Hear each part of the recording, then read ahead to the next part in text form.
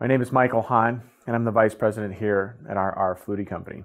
And we provide manufacturers factory automation and machine vision solutions.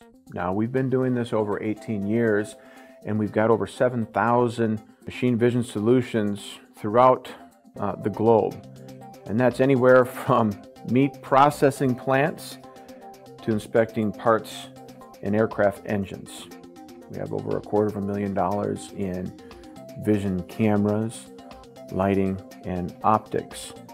And it takes the right combination of those three to come up with a solution that is viable uh, for a, a, customer's environment and to solve the customer's uh, needs.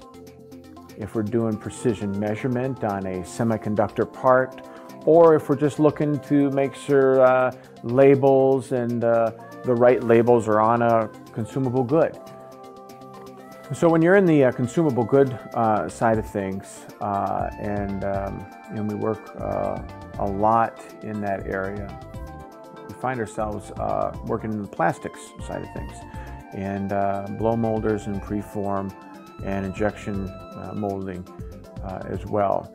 And so we've basically developed a lot of vertical market solutions uh, the KMV iSight system is, is one of them for blow molding and preform inspection. So to make sure that containers have the right labels, uh, no contamination, uh, no holes, um, that the uh, opening is correct, that when they put a cap on it, it will fit correctly. If they put liquids into it, that it will um, fill correctly and not leak all over the place. And so our systems inspect all sorts of different uh, measurements and attribute checks that are kind of standard in the uh, plastics, blow mold, and preform industry.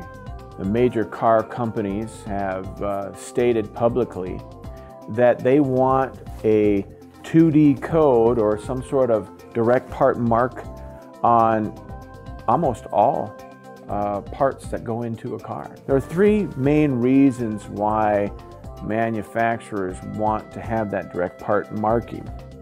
The first one is monitor process control. And the second reason is error-proofing. And then of course the big one is just minimize rejects and recalls.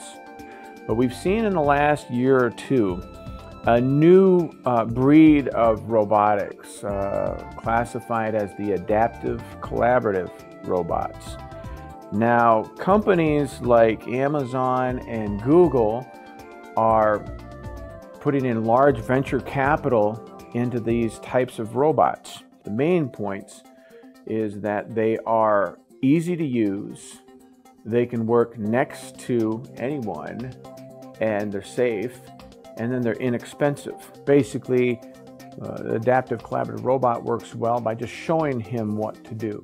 Pick up a part here, uh, place it in a box and you know move the box off.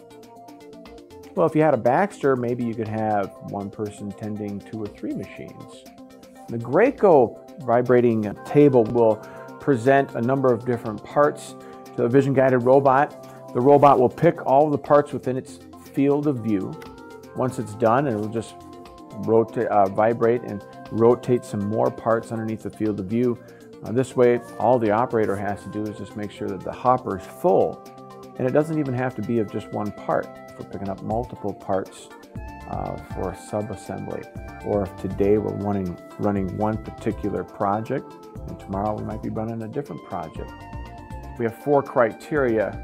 Is this solution going to help our customer stay competitive, increase their profitability, uh, reduce their risk, and make their life easier. We have a saying here it's not the big that eat the small, it's the fast that eat the slow.